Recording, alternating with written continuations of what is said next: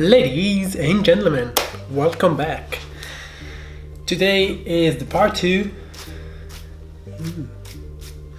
Part two of the video we went through yesterday. So yesterday we went through why I showed Cine 2 on my Sony a7 III. Today we're gonna go through the way I color grade my footage. So I don't want this video to be 75 minutes long.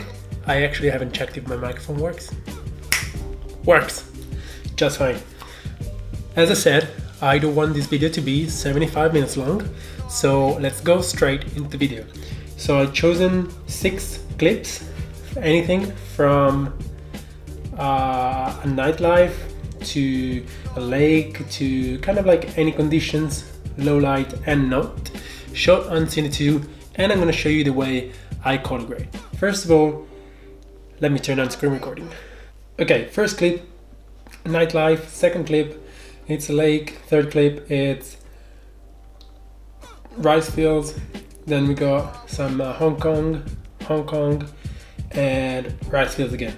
So let me show you what this clip is with nothing but the images.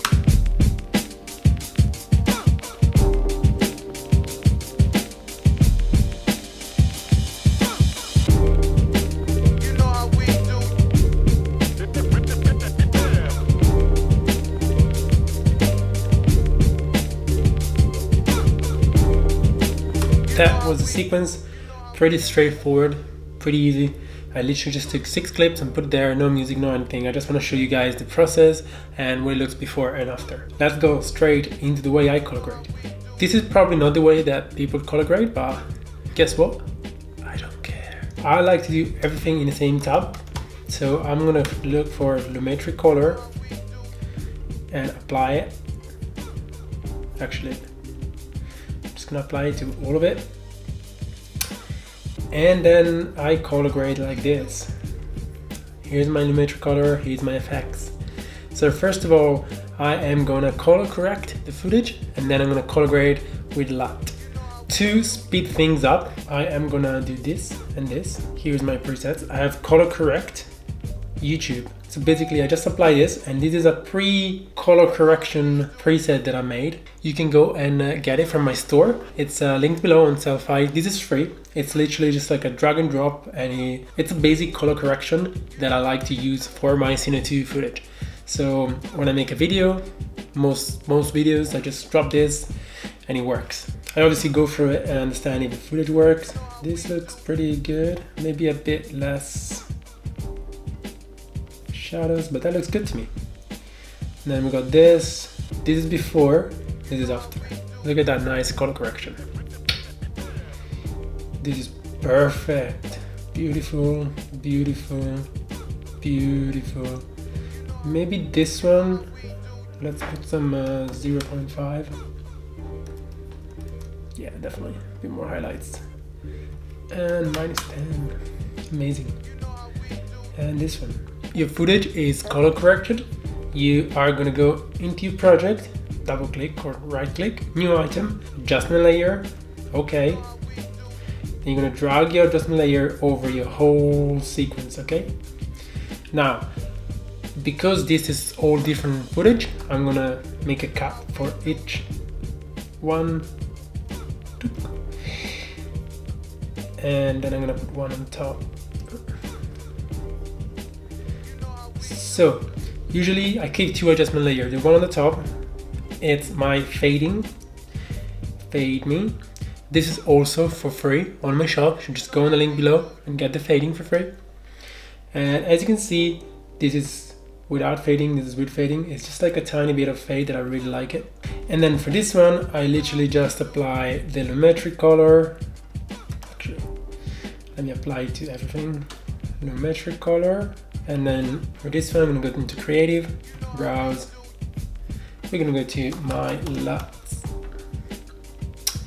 And we are gonna go to probably uh, dusk to dawn usually works pretty well.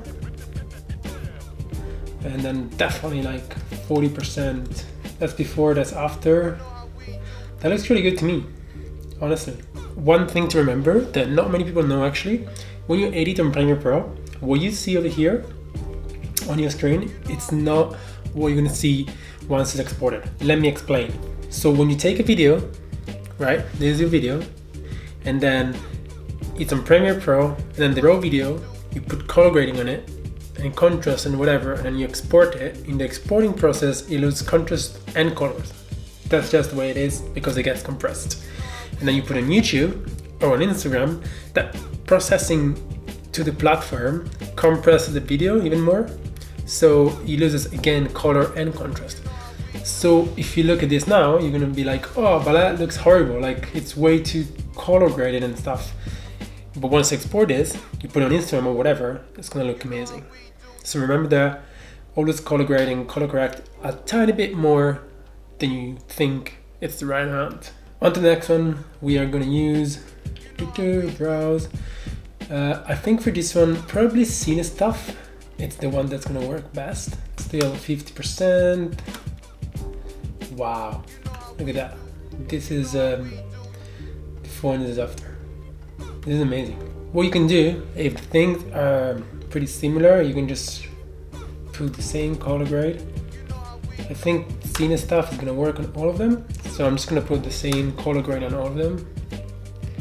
I know I could put the same, I could just drag this over, but I wanna do this because maybe I wanna change it. Uh, this is pretty good though. This is before, this is after.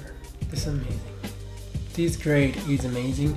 Remember, you can get these presets, presets, this grading, these LUTs, LUTs. You can get these LUTs on my store, on my Sellfy, link is in the description.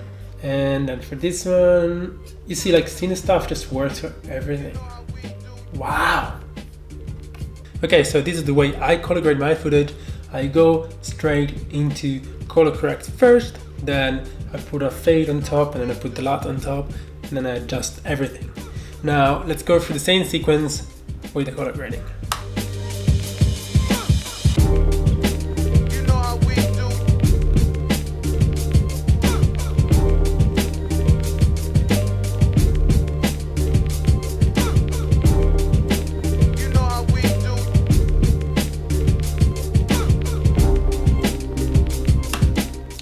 Majestic. That was the way I color grade.